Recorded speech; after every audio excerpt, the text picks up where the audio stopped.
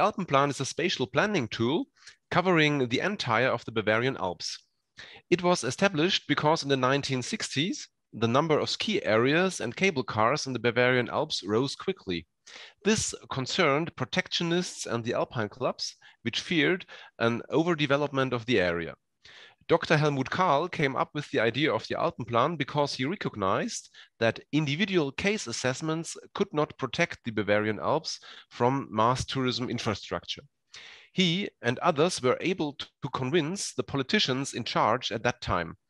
In 1970, Bavaria opened one of the first ministries for spatial development and the environment, and the idea of the Alpenplan fitted very well into this new spirit of environmental protection and planning.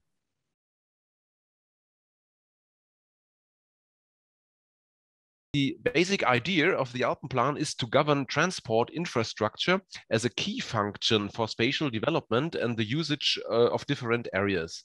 In doing so, it balances the spatial needs of tourism while, on the other hand, preventing an overview, overuse of mountain landscapes.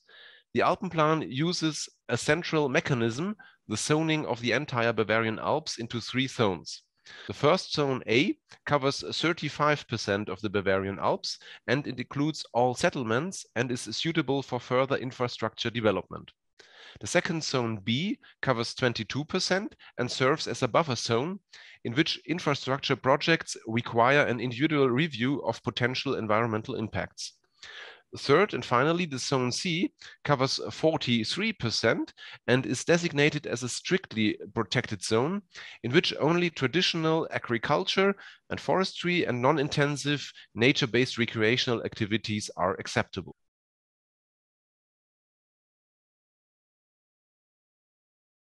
Since uh, its designation in 1972, the number of developed ski areas, of new developed ski areas, sorry, or cable cars drastically declined. This development is of course not monocausally linked to the Alpenplan, but since 1972, so almost 50 years now, no exception for development projects in the Zone C has been granted, and many conflict-prone, time-consuming individual debates were avoided, while numerous development projects could be prevented. Without the Alpenplan, the Bavarian Alps would have been developed much more intensively.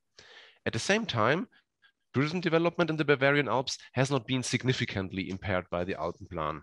So to answer uh, your question positively, yes, it mostly did achieve its objectives. However, the Alpenplan does not regulate the construction of dirt roads for forestry and alpine pasture use. We did an analysis for the Oberallgäu region or part of it to show that these elements contributed most to the fragmentation of the landscape.